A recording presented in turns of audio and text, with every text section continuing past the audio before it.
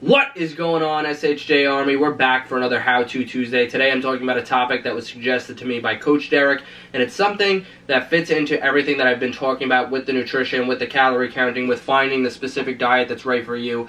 And it's really important to know what I'm going to be talking about today, and that's how to track your workout and your activity within your calorie counting. But before I give away exactly what I'm going to tell you to do, I want to go through a few announcements. I missed last Thursday's video. I'm working on a huge project for the end of the year for Superhero Jacked, as well as the launch that's coming of Brandon's cookbook, recipe book, and macro guide. So that's coming in January, but we might have it up for Christmas, as well as the huge project that I have coming as well. It's going to be a huge update, so uh, I had to take a day off. I hopefully won't have to do that anymore. Other than that, I was able to finish up our book club book, get that review up. Time of Contempt is officially reviewed and up. I did that yesterday, so I have it set for this video feel the fear, but do it anyway. Um, about 75% through the book. I was going to quickly read through it and review it for this video, but I'll have it up by either Thursday or next week. And mainly, I'm starting Mortal Engines. I was supposed to get it for Christmas from Ryan, but I bribed him with his Christmas present to give it to me now so I could start it and try to have it up by the end of the month. And other than that, I really want to get into this topic. It's something I'm really excited about. It's going to help you guys either through the holidays or when you really crack down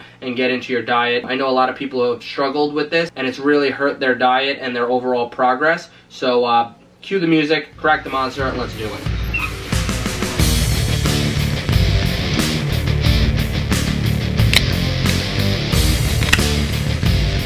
Alright, so this is probably going to be a pretty short video because I have a very specific answer on how to track your activity and your workouts within your calorie counting. And it might not be what you want to hear, but the most simple thing is do not track it. You do not account for those calories. I know some people want to track exactly what they're burning throughout the course of the day and on top of that what they're burning through their workout and then eat extra. But there's a lot of reasons why you're not going to be doing that. One, the calculator itself that you're using, whether you're using our programs or another calculator, is going to be tracking your overall maintenance level calories, which is how much you burn on a daily basis. That's how much I'm going to burn if I'm just sitting there doing nothing or I'm just living based on my height and weight. So that's one. Number two, if you're using any of our programs, whether it's the Greek God class or any of the superhero programs, in those calculators, it's built in, it's asking you your activity level, and it's accounting for how much you're working out per week, whatever activity you're doing for work, and there's a way to calculate that and add that into your calories. And it even shows in our program with activity level, this is the amount of calories we're giving you per week, per day, and then we're subtracting whether it's a cut or adding for the bulk. So that's built into our calculators. So if you then take that number and then go to the gym and then subtract or add calories because of your workout, now you're completely messing up the calculator that you're using in our program. So let's say, for example, you had 2,000 calories in a cut you're cutting at 2000 and you hit your goal and that's what our program tells you to hit every single day. But then you're going to the gym and then you do some cardio or you're doing some circuits or you're doing some high intensity interval training or whatever you're doing in the gym you work out for an hour and you look at your watch and it tells you okay I burned 800 calories. Now you eat another 800 let's say, let's say it says 1000 just to make the calculation easy. You're like okay I just burned 1000 calories I'm going to eat an extra 1000 now you're at 3000 for the day. Not only did you kill your cut by hitting that 2500 maintenance level, but you're also turned it into a bulk and turned it into 500 over your maintenance level, so you're actually gaining weight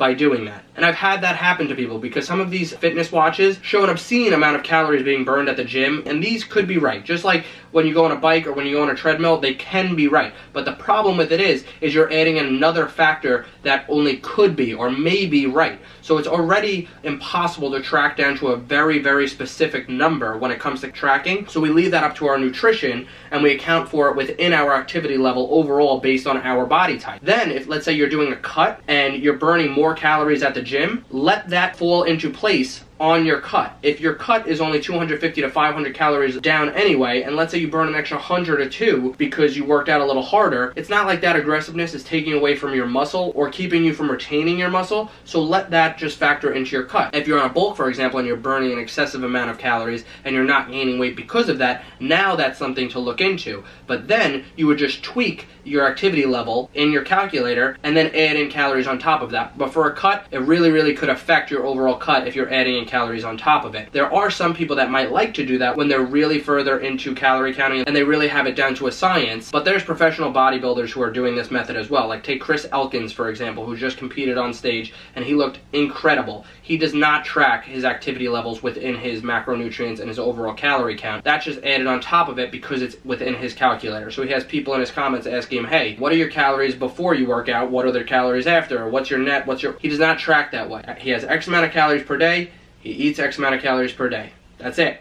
There's no XYZ or fluctuation based on the activity level because we're already calculating that with the program calculator. So that was pretty simple. I didn't want to break down exactly how to cut, how to bulk, how to do anything like that because we've already done videos like that. It's within the programs as well. It's all over the site. So if you want to figure out things like that, check out other How To Tuesday videos, check out articles, read up on that and research that way. But this is how you track your activity level within your macros and your calorie counting. I hope this helped. I hope this clears up some confusion when it comes to tracking your workout and looking at the calories on any of your fitness watches. I know those can confuse things sometimes. Uh, most calculators are going to track your activity level as well, so keep that in mind before you start eating an obscene amount of food on top of what your calories are already for the day. I don't even put my calories into my Fitness Pal. I don't put my workouts into my Fitness Pal. I just put my nutrition into my Fitness Pal after using my calculator that I have from one of the programs on the site. I put those calories and that breakdown for my macros in the calculator and I do not put how much I'm burning for the day. I just use it as a way to look at what I'm eating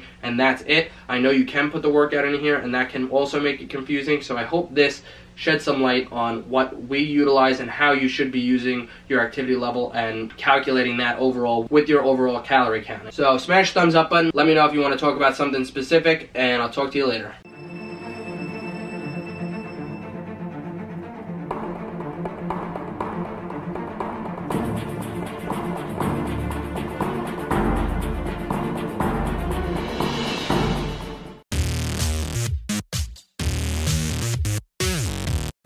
Uh, hey guys, I love pepperoni, and if you subscribe to the channel, like the videos, and check out the links below, I'll get to eat more pepperoni, like, cause I'm a puppy, and I love, and I love, I love pepperoni.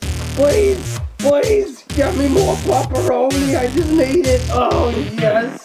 Pepperoni so good, please subscribe and like.